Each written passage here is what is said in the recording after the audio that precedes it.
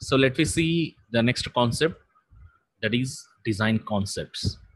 As I said you, the definition of software design, it encompasses with set of principles, design concepts, and the sort of the things which is going to be doing over there, the design concepts over here will be added with the help of to make a good design with the help of this only we can do it the design concepts talks about the set of the fundamental software design concept has evolved over the history of software engineering over the evolved over the history of the software engineering and each helps you the following answers has to give for the following questions. What criteria can be used to partition software into individual components? Like when you are dividing as a modules for any project we had to see such a way that how you are going to be dividing into one one two three four five six models or modules over there. So these modules on which criteria? Are you thinking that with the help of the schedule like this project has taking six months of time that's why i need to be uh, make as six parts? Or if you are saying this project will be involved three or four departments to complete the project we need to say as four modules for that. What is the main criteria to partition the total entire software into individual components here each component called as a module. And how is function or data structures details separate from a conceptual representation of the software? Means the function or data structure whatever you are going to using for making a fulfillment of this design. As you remember we are going to have one of the goal for the design is making a appropriate data structure right? So that making appropriate data structure gives some conceptual representation of the software. And what uniform criteria defines the technical quality of the software design? Uniform criteria in the sense the output of any software design is high quality software or high quality product. To make sure that quality what is the uniform criteria? What is the uniform criteria to define the technical quality?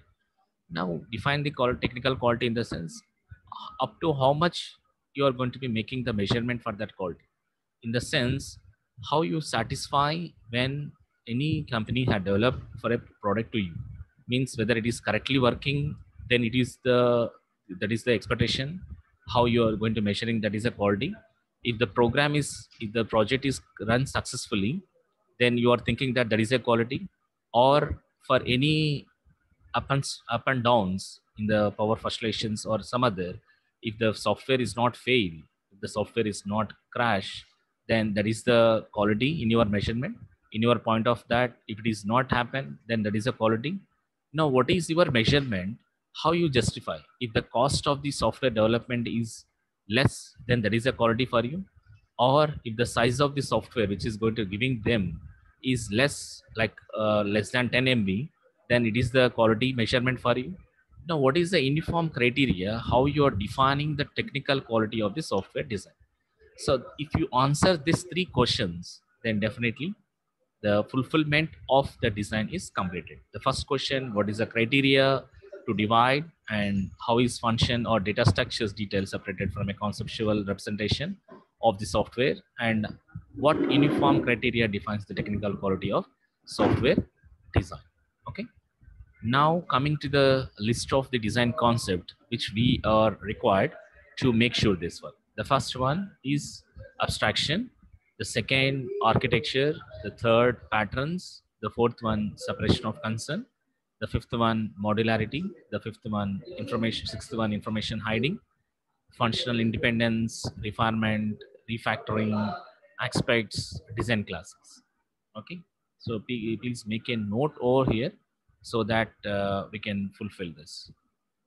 Make a note of all this because it's a big uh, concept design concept in the sense abstraction architecture patterns separation of concerns modularity information hiding functional independence refinement refactoring aspects design classes. Make sure all these are the minimum design concept. This is a damn sure question in all the examination. Maybe it's a mid or external. Okay, please make a note of this.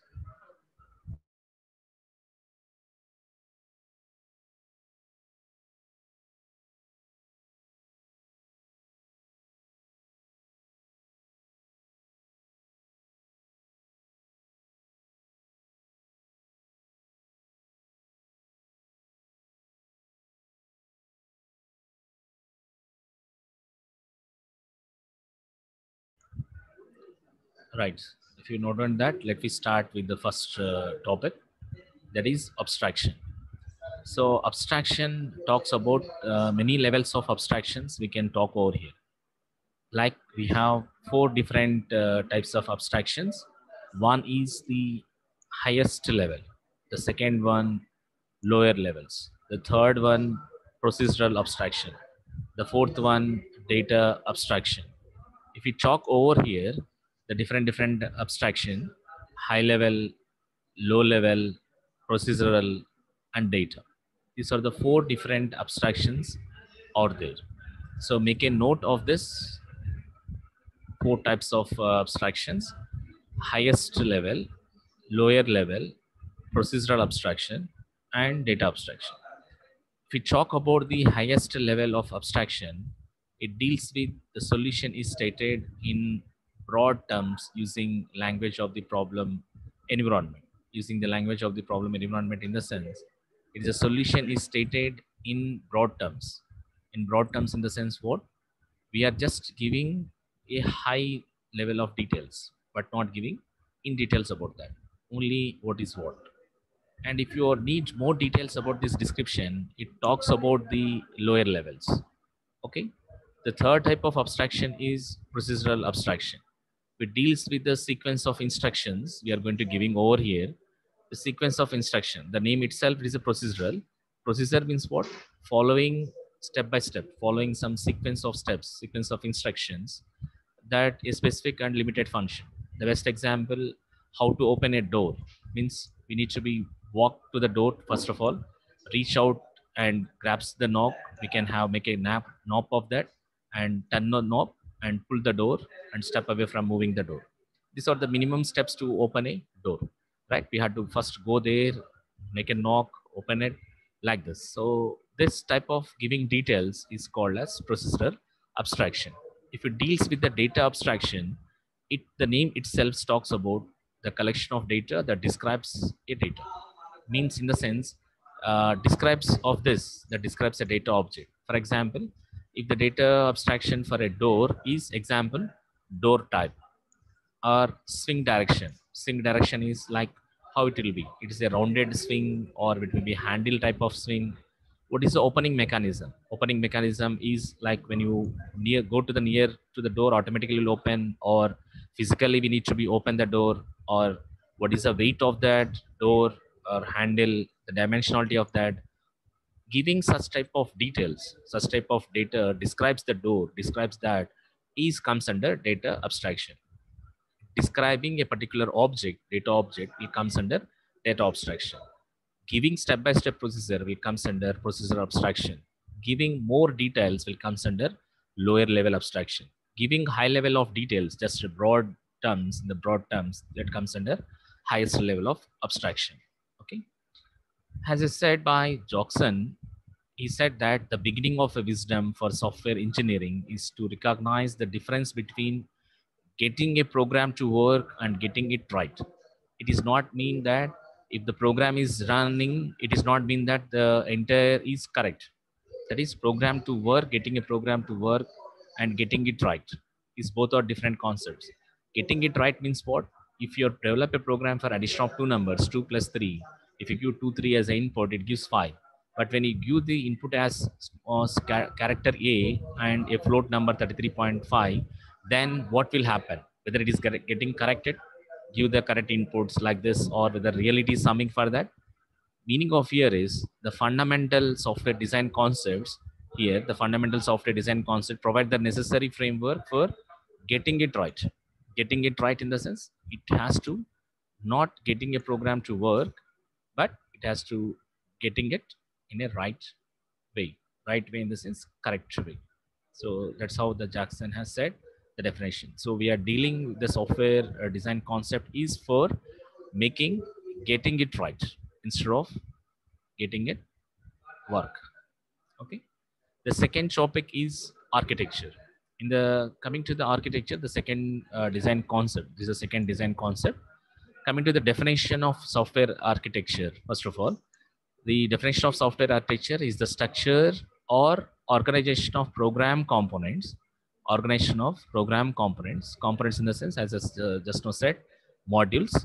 The manner in which these components interact, the interaction between the component to component, and the structure of data that are used by the component. Structure of data means what? The input inside, how it will be used, that one. The input for this, the design is software architecture. So software architecture is the structure or organization of components how good you are going to be organizing. If you consider entire is a system, like if you consider as a laptop is an entire system, how the components, what are the components are there? Motherboard, RAM, hard disk, the screen, the keyboard, where how you are organizing everything. Keyboard will not be coming to the place of screen. Screen will not be coming to the place of keyboard. Like we require some structure where we can fit this model in a manner such a way that how these are going to be interconnecting how they, they are going to interconnecting with the help of buses, right? The help of inside buses, buses in the sense, the wires which are called as buses over there. And the structure of the data, how it is going to be make that to process that one, to process that and the structure of data that are used by the components. So in simply, we can say software architecture is the structure or organization of program components and also the manner in which these components are going to be interconnected and the structure of data that are used by components, right? And as part of the Shaw and Garlan in the 1995, they define or they describe the set of properties to be specified as a part of architectural design. The first property it is going to be talking about the structural properties. The second, extra functional properties. And the third, it is going to be a little bit of the other families of related system, which will be uh, other properties will be comes out there. Coming to the first property of this is structural properties, where it deals with the modules, objects, and filters. If you define this, it will comes under structural properties. And if you see here, the modules properties, objects properties, filter properties. If you are giving that, it all will comes under structural if you see the extra functional properties means how the design architecture means how the design architecture achieves the requirements for making performance capacity reliability security adaptability and other system characteristics. It will be make sure. Means of this is how the design architecture achieves the requirements. Requirements in the sense just now has said you FURPS, FURPS, FURPS, functionality, usability, reliability, performance, and scalability in the same fashion here also how good these are all the non-functional requirements we can say. Extra functional property means non-functional requirement. Structured property means functional requirements right? When you coming to this another definition given by the Len Bass for software architecture is a software architecture is the development work product is a development work product. It is not actual product but development of work product that gives the highest return of investment highest return of investment with respect to the quality schedule and cost. So by seeing the quality schedule and cost of a particular design we can come to a conclusion that how much of high return of investment will come over years roi how will becomes over there. Because it is a development working model. Even though it is not a actual working model it gives a development working model for you we can by seeing that one we can easily measure the quality schedule and cost so that we can expect the return of investment over here. And we have different types of architectural models are there. The architecture models like we have the architecture models. The first one is structured models. The second one framework models. The third one dynamic models. The fourth one process model and fifth one, the functional models. Based on our requirement, based on our the design, we are going to be talking one after the other. Like we can use one after the other. If you talk about the structured models, it deals with the organized collection of program components. When you want to use, you can use simply when you are designing the modules or objects or any other sort of, it can use the structured models. When we can use this framework models, means when you want more abstract, means more details, when you want to more abstract over there, if you want to give only the high level things, then you can talk about, uh, you can use framework models. When you see the dynamic models, when you are going to be talking about the behavior of the system, behavior of the product, behavior aspects, when you're talking about there, you you can draw with the help of dynamic models. When you deals with the, the business point or the technical feasibility, like with the cost and when you deals with the, some sort of time, speed, then you can use the process models.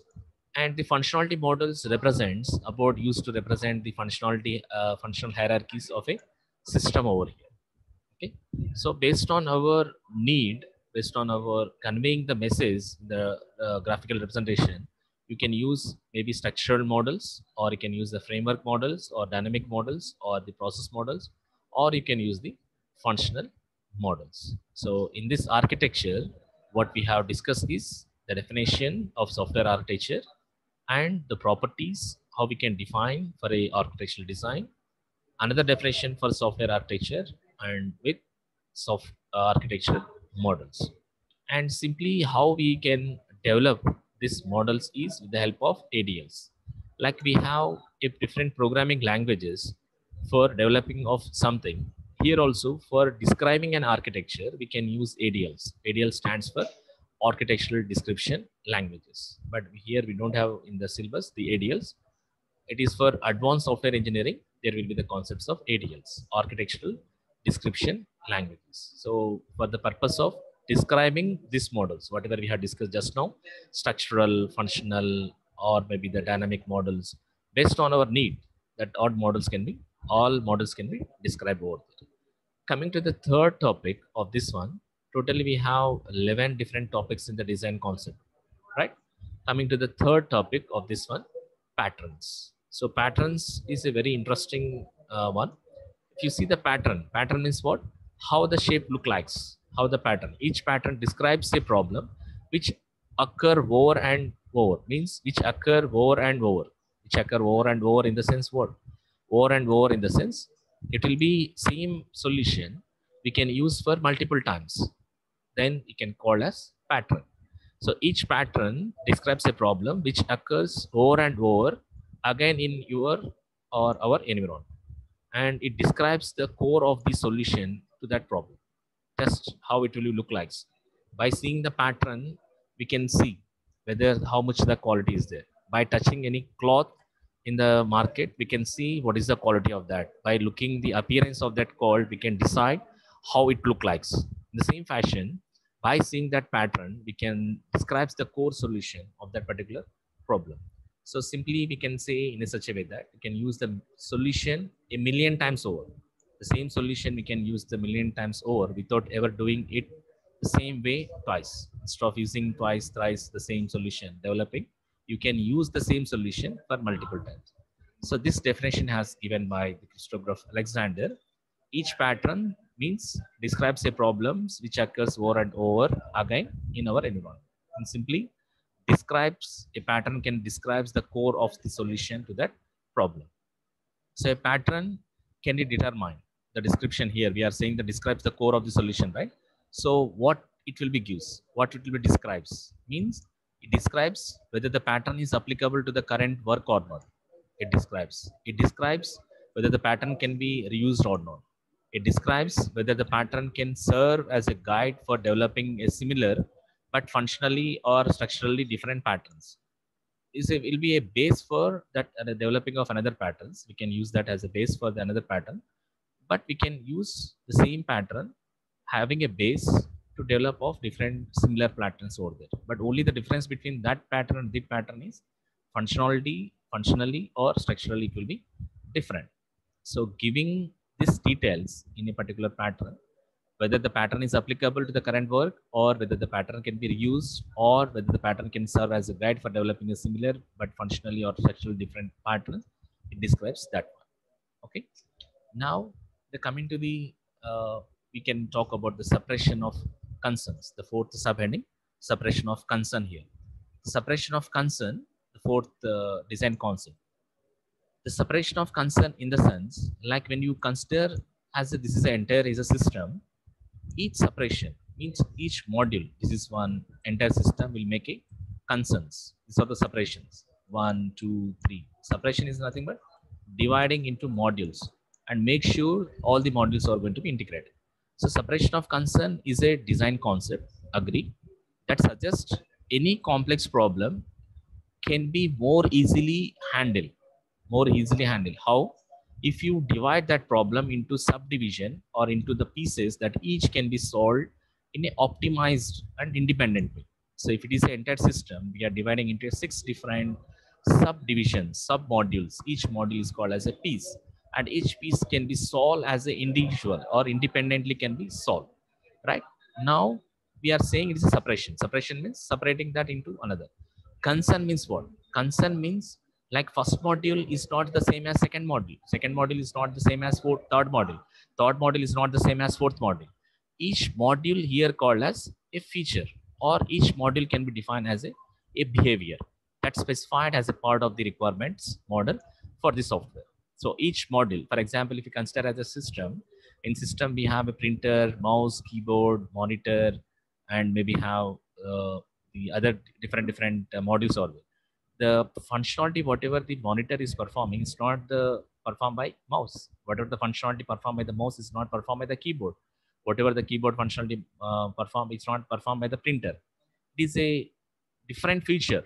Feature is nothing but different functionality it is giving so simply a concern is a feature of or a behavior that is specified as a part of the requirement model for that software. Okay? So these are the four concepts uh, we have studied in this one. One is abstraction architecture patterns and separation of concern. Okay?